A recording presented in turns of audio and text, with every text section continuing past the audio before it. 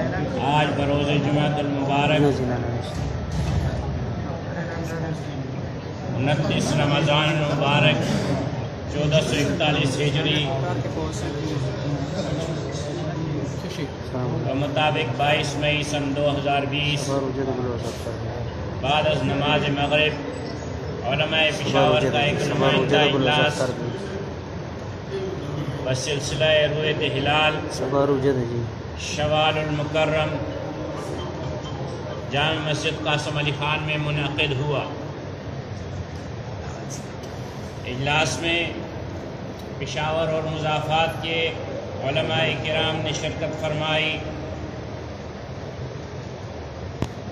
اور جامع مسجد قاسم علی خان کی طرف سے ضلع پشاور میں چار ٹاؤنوں میں جن علماء کرام کو ہر ٹاؤن میں ذمہ داری سونپی گئی تھی، ان سے مکمل معلومات لینے کے بعد اور صبح خیبر پختونخوا کے وہ اضلاع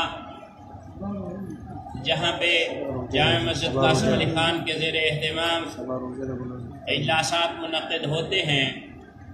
سب سے اطلاع موصول کرنے کے بعد اجلاس میں متفقہ طور پر یہ فیصلہ کیا گیا کہ عدم ثبوت کی بنا پر وقت ارشاد نبوی صلی اللہ علیہ وسلم اکمال ثلاثین کرتے ہوئے رمضان مبارک کے تیس دن پورے کیے جائیں گے۔ کل بروز ہفتہ تیس رمضان مبارک ہوگی۔ اور یکم شوال المکرم چودہ سو اکتالیس ہجری بروز اتوار بتاریخ چوبیس مئی سن دو ہزار بیس کو ہوگی۔